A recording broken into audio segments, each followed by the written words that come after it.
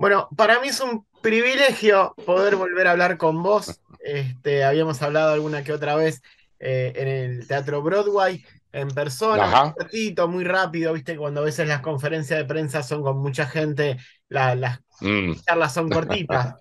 Este, pero esto es una ocasión especial, 70 eh, años con la música. Y primero decirte, bienvenido a la ciudad de Rosario, ¿cómo estás? Uh, y yo muy feliz porque voy a recobrar mi identidad en Rosario. O sea, no fue muy largo mi estadía, ya hasta los 17 años este, estuve en Rosario, desde los 7, o sea, 10 años, porque yo venía de, de una población de Santa Fe llamada Sunchales, este, y Rafaela luego, y de ahí mi mamá eh, me trajo para Buenos Aires cuando tenía más o menos 7 años. Y este, bueno, y ahí, pero ahí comenzó toda mi historia. Ahí hice el colegio, en fin, las cosas gratas de la, de la niñez y de la adolescencia lo viví en Rosario.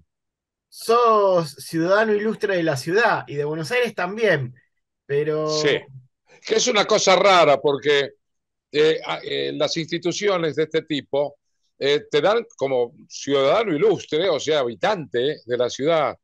Y, este, y bueno, yo vivía en Buenos Aires, por supuesto, cuando me dieron el título de ciudadano ilustre, que no sirve para nada, pero es un regalo muy lindo para el espíritu. este, alma, ¿viste? Eh, sí, sí, nada más, porque después el, el, ilustrísimo tiene que pagar los, todo lo que corresponde, me hacen multas, me hacen todo, o sea, no, no, tiene consideración con uno. sí, no hay privilegio. Y en Rosario, de pronto, hubo un movimiento para hacerme también, pero hubo muchos que se oponían, pues decían, sí, pero no es un ciudadano, no vive en Rosario. De cualquier manera, superado ese, ese pequeño inconveniente, este, que no tiene mucho significado, porque en definitiva yo nací en Rosario, este, me, me acordaron también ese benemérito título este, tan, tan codiciado por mucha gente, ¿no? Vos sabés que hace muy poco fui a la plataforma La Bardem, viste que está dividida ahora, está el teatro por un lado y la plataforma que son como seis o siete pisos hasta la terraza por otro. Sí, sí, sí. Y vos ahora han remodelado un poquito lo que es la, la fachada, digamos, por dentro de la plataforma y vos vas subiendo y vas viendo artistas determinados, todos de la ciudad, y entre esos vos. Una de las fotos que está es la tuya, y, qué, qué, emociones te, te, da, que, viste que el rosarino es muy de uno, viste que es muy pasional el rosarino con lo, con lo uno. Sí, yo, yo tuve esa experiencia, porque en un momento, ¿te acordás cuando pusieron, y es de Rosario, que ponían las fotos de cada uno? Yo no figuraba. Entonces me quejé, porque fui a Rosario y dije, ¿cómo? ¿Yo dónde nací? Yo nací en Rosario, soy de Rosario, me enorgullece ser, de Rosario.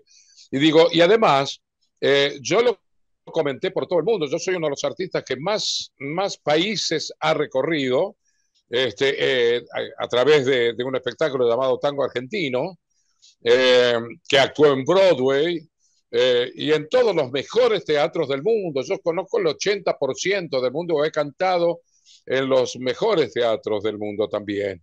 Y había una, una, publicación en Broadway, se llama Billboard, este, donde eh, son todos, eh, la, digamos, la característica es la misma, pero para cada espectáculo tiene los suyos, son de donde está quién es quién, etcétera, y el, y el espectáculo.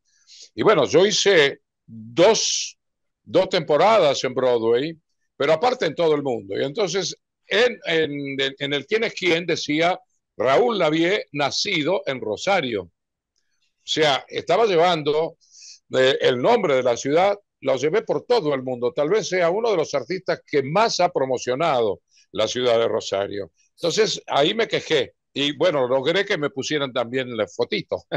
Sos el Messi de la música. No, no tanto, no tanto, no, no, Messi es un extraterrestre, yo soy, soy un simple mortal. Cantaste una canción a Messi. Canté varias, canté dos o tres, sí, dos o tres. Este, eh, una hace un, tiempo con, con, el grupo de, de, los, que trabajaban con Tinelli, que era un género distinto, un género más moderno. Y la otra después, este, bueno, este no lo toquen a, a mi 10, con la bandita. Este, y además canté el himno nacional este, argentino en, en, un partido de la selección en, en Santa Fe. En fin, tuve esa, ese gusto ¿no? De, de, de, hacerlo y de conocerlo de lejos. A Messi, o sea, yo no me atrevo a molestar la intimidad de nadie, no me acerco a sacarme una fotito si no se dan las circunstancias. Este, pero sí, Messi estaba en la primera fila del, equipo y yo estaba a 10 metros más o menos, entonces me saluda por abajo, me mira y me saluda por abajo con la manito y yo le digo, hola, ¿cómo te va? Como este que había, le había visto su gesto, ¿no? Y, este, y ese fue el contacto que tengo con, con, con él, este, pero lo admiro profundamente creo que es un, primero es un gran deportista, primero es una gran persona, después es un gran deportista. Eh, hay muchos deportistas que no son buenas personas, como pasa en todos lados. Los artistas también tenemos lo mismo. Pero da la casualidad que se mezcla, eh, en Messi se mezclan las dos cosas. Raúl, eh, hiciste comedia musical, hiciste cine, hiciste teatro, cantás tango, cantás melódico. ¿Hay algo en tu vida que te faltó hacer que hubieras dicho, puta, eh, me quedé con ganas, o, todavía estás, ¿no? Pero me queda pendiente cantar tal cosa o hacer tal cosa. Bueno, cantar, cantado todo. Hacer teatro hice todos los géneros desde el año 65, con, con una buena, una muy grata trayectoria. En el cine hice veintipico o más de películas. Este, en el teatro hice como 45, 46 obras, no me acuerdo. Este, y abarqué, vuelvo a repetir, todos los géneros, en, incluida la comedia musical. A mí me encanta la comedia musical porque me da la posibilidad no solo de, de, hacer un, ponerme en la piel de un personaje, que lo hice distintos, disímiles todos, hice desde el Sorba, el Sorba al Quijote, a, a, un, a un, judío este, eh, como el violinista del tejado, a un, a un travestido como en La jaula de las locas, hice un millonario en Ani, hice, en fin, tuve máscaras para todo. Este, y eso para mí es fundamental porque uno, las dos cosas, uso la música, mi voz y eh, la actuación. Eh, creo que es uno de los géneros más completos para un actor.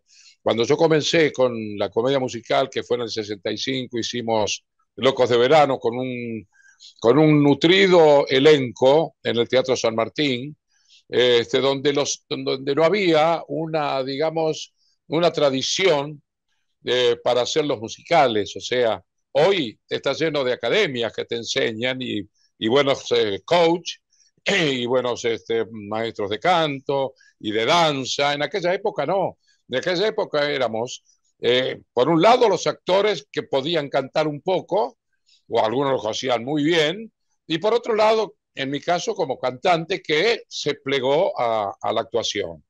Y este, pero a, través de eso yo fui creciendo, hice todo lo que como vuelvo a repetir, y fui modelando una, una personalidad dentro del, de la comedia musical más importante porque se me dio la, la, posibilidad a través, en este caso sobre todo a través de Alejandro Romay, que me puso el Teatro Nacional a mi disposición con muchas obras musicales, este, las más importantes de Broadway. Y, y eso, en ese sentido, estoy muy agradecido con él. Ahora está en el espacio, pero él sabe perfectamente, la familia sabe perfectamente que él fue de pronto alguien que, que para mí fue fundamental en mi crecimiento como artista.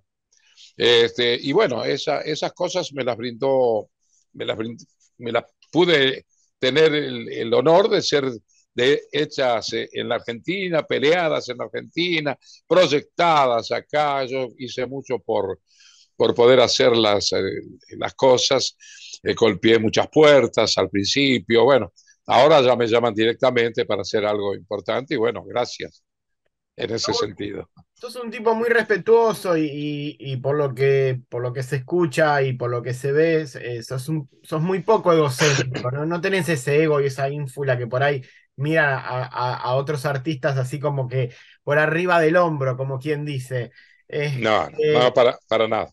Eh, te quieren mucho en todos los géneros. Lo vi eh, en, el, en, los Gardel, que, que todo el mundo te quería y todo el mundo te aplaudía y todo el mundo se paraba a saludarte.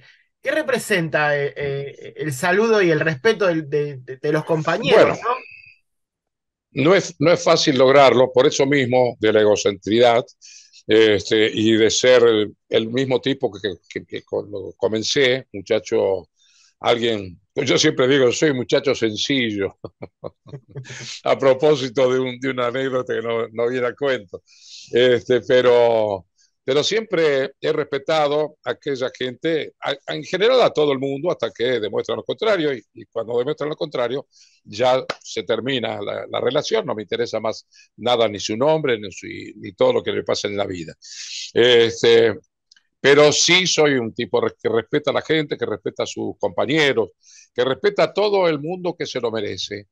Y con el público también, o sea, cuando yo voy por la calle, yo lo miro los ojos a la gente, no soy de ocultarme o de quitar o de caminar arrogantemente, traspasa por mi lado gente que me mira y, yo seguir con la mirada del frente, no, yo los miro, los saludo, y, este, y eso es lo, lo importante en esta vida, o sea, no perder la, la humildad. E, eso fue un, cuando cuando yo empecé de pronto a ser muy conocido, mi hija mayor, me dice, papá, nunca te olvides de tus orígenes. Yo le dije, no, no me voy a olvidar, no me olvido ni me olvidaré, porque mis orígenes fueron, fueron humildes, como el de mucha gente, pero también eh, mis, mis abuelos, que fueron los que me criaron, me enseñaron el don de la humildad y del respeto y de no tener envidia por aquellos que tienen más que, nos, que uno. Y eso lo llevo, gracias a Dios, por una educación de, gente muy humilde, como eran mis abuelos. Mi abuela no sabía leer ni escribir, pero tenía una, eh, digamos, una clarividencia con respecto a la vida, este, mejor que el más grande de los letrados, tal vez. ¿No? Y, este, y entonces todo eso fue lo que me marcó y me sigue marcando y yo trato de transmitir también a mis hijos y creo que tengo unos hijos maravillosos al respecto y, lo que significa ser, eh, este, saber ocupar un espacio en la vida. ¿Me entendés? Así que de eso sí me van a glorio y me siento muy orgulloso. 24 de Y además te voy a decir, además te voy a decir una cosa. En, en, la entrega de los premios Gardel me, me encontré con muchos jóvenes, muchos que están teniendo un éxito notable. Eh, a veces yo no, con, no condigo con, con, con, lo que hacen. No es que no, no respete lo que hacen, al contrario, es un poco verme reflejado también cuando yo tenía mis 14, 15 años este, y comenzaba una carrera que también era un poco distinto a todos los demás. Este, entonces yo respeto lo que hacen, pero además eh, ellos tienen para conmigo eso que vos decís, el respeto, y nos saludamos, yo los, y yo me acerco y los saludo a los chicos este, que están brillando este, en la constelación artística, musical, etcétera. Y, este, y, eso creo que es lo fundamental y eso me agrada, me gusta, porque me siento unido este, por parte de ellos, primero, porque yo soy un hombre grande, yo soy un, puedo ser el abuelo de todos, y sin embargo me, tratan bien, pero también pasa por otro lado, porque yo estoy dentro de la familia, de, los padres o, de los abuelos de estos chicos. Y entonces es lo que me pasa. Se sacan foto conmigo y dice, ay, mi, mamá o mi abuela lo quiere mucho, qué sé yo. Y entonces este, estoy presente en, en, ellos a través de la sangre, digamos, ¿no? Tal cual, tal cual. Trasciende generaciones ya lo tuyo, Raúl. 24 de junio es la fecha, 21 horas, Teatro Broadway, 70 años con la música. ¿Con qué se encuentran los rosarinos? Bueno, primero con un espectáculo, trato de que sea un espectáculo vivaz, un espectáculo que no sea aburrido, contar 70 años en un espectáculo de una hora y media, una hora 45, no sé cuánto va a durar. Este, no creo que sea más porque considero que los espectáculos, mientras más largos sean, hay que ser muy, tener muchas cosas dentro como para, para conmover y como para que la gente salga, salga satisfecha. Si no, pasa a ser un cansancio, decir, ¿cuánto termina este tipo? ¿no? Este, de decir estupideces o, o, de hacer cosas, qué sé yo. Este, y, eh, y, son 70 años que debo este, capturar para ponerlo en un, en un espacio que sea, que sea interesante y, movidito. Y bueno, y eso es lo que me ha ocupado en todo este, este transcurso, de ver cómo voy modelando el espectáculo para que sea eh, atractivo. Voy a ir con músicos en vivo, por supuesto, voy a llevar una pareja de baile como para también no olvidarme que es un espectáculo y, este, y, y, voy a tener una pantalla a mi disposición para poner las cosas que este, van transcurriendo en esos 70 años, como, como el teatro, como, como el cine, por ejemplo, y, este, y, y alguna otra cosita que yo he hecho este, también. Así que hay varias sorpresas. Hay gente que invito para que me acompañe, gente que yo respeto, este, no muchos, porque tampoco, este, si no, no va a alcanzar el tiempo. Y, este, y algunas cosas que son puntuales para mí. Este, eh, voy a recordar a mi hijo cuando pude tener la satisfacción y el honor de que me acompañara, porque él me lo pide, vamos a grabar, este, vuelvo al sur de Piazzola. ellos tenían eh, con Gastón, mi otro hijo, tenían un tratango donde hacían la música de Astor y, este, y entonces mi hijo me propone hacer Vuelvo al Sur y él cantar. Y para mí es, eh, es, imperativo el hecho de rescatar eso, porque eh, se lo merece, porque yo creo que fue un, un, chico muy inteligente, alguien que también rompió los esquemas, fue un poco el creador de un movimiento electrónico en su momento, donde hasta el propio Santaolalla se inspiró al escuchar cuando iba con su auto, este, una grabación de Ultra Tango, se paró, él lo dijo en un reportaje para La Nación, recuerdo, este, se paró, eh, creo que iba por la Panamericana, para que no, se, se, paró a un costado y lo escuchó, y de ahí saca después su, su trayectoria como, como músico de electrónica, que bajo, bajo fondo, nace bajo fondo. Y entonces yo creo que también, eh, más allá del afecto de, que es mi hijo, también yo creo que hay, tengo que resaltar lo que él significó, lo que mi hijo significó para esta música, también amado por todos los que lo conocieron. ¿Entendés? Y entonces eso para mí es, un, gran honor, una gran emoción el, el poder también cantar junto con él, ¿no? Yo en vivo y él en el, en el video. Eso es una de las cositas que le adelanto que va a estar, pero no, a veces no quiero destapar un poco la olla para que sea un, un impacto, pero bueno. Una sorpresa. Claro. claro tal cual. Raúl, eh, ¿invitamos a la gente? Claro. Eh, bueno, no me dejen solo, como decía un, un expresidente. Tal cual.